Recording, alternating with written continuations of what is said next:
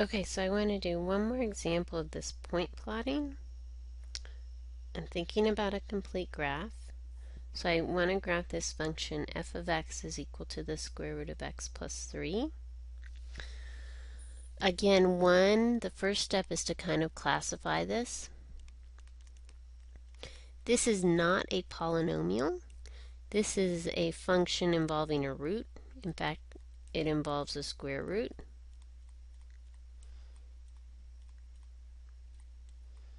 Because of that, it has a limited domain. So domain. So for even roots, like this square root, I can't have any negative values under the square root. So I'll start with a domain of minus infinity to infinity, and then I'll solve for where x plus 3 is negative, is less than 0. So that's x less than negative 3.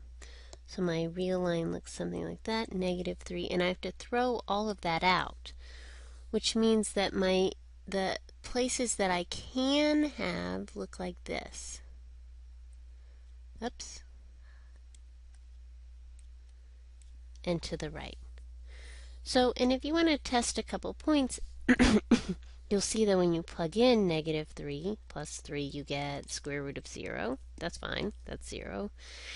If you plug in um, the point to the left, the next point to the right is negative 2, negative 1, 0, right? So negative 2 plus 3 is square root of 1. That's totally fine. And if I go to the left and test a point over here, this point that I think is in the bad zone, negative 4 plus 3, you'll see I get square root of a negative number, negative 1.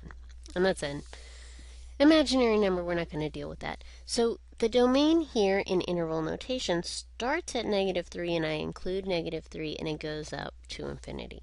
Okay, so then when I make this t-table, I know that I don't have to plug in values to the left of 4. It also means I should start at negative 3, that that's kind of an important number. That's my starting place. So I'm going to do that and work to the right. So I'll set up this t-table, x and f of x. And I'll start at negative 3, and I'll probably just work negative 2, negative 1, 0. Um, I plugged in some of these, so at negative 3 it's 0, at negative 2 it's the square root of 1, which is 1. Um, at negative 1, I get square root of negative 1 plus 3, which is square root of 2, which is about 1.21 something.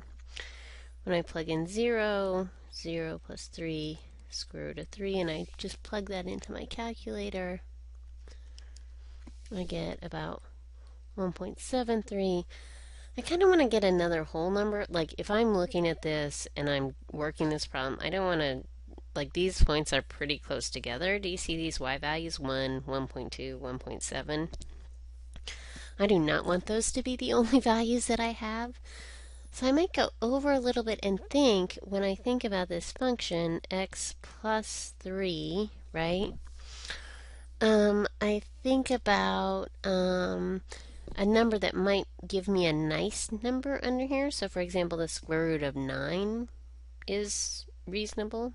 Or like looking here, if I just plug in 1, that gives me square root of 4. That's better. So let me do 1, and then the square root of 4 is 2. Let me go and get the square root of 9, which happens when I plug in 6, right? So I want this result under here to be, oops, not that one, 9. I can't just make that up. I want this total thing to be 9, so I plug in a 6. That gives me that one. Then the square root of 9 is just 3. Okay?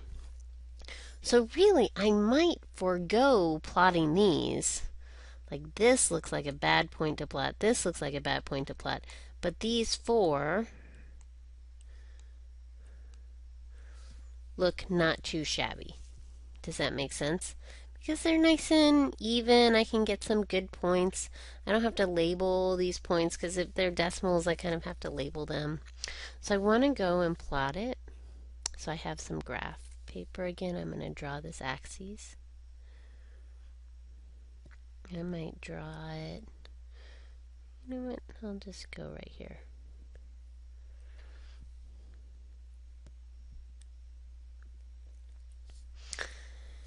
And I think about how I draw this. For example, all my y values are above the y-axis. All of my x, x values are kind of from minus 3 on, so I might just go by 1. So I might just label these 2, 4, 6, 8.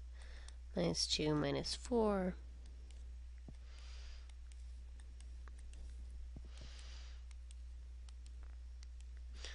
So minus 2, minus 4, minus 6 like that. And then I'm going to plot these points. So I had negative 3, 0. I had, oh, I'm looking at the wrong one, sorry. Oh, negative 2, 1. 1, 2, and 6, 3. So you see this kind of, this is the basic shape. This starts here, will go over, and something like this. Uh, the y-intercept here happens at 0. We should mark that, and we got that on the other page.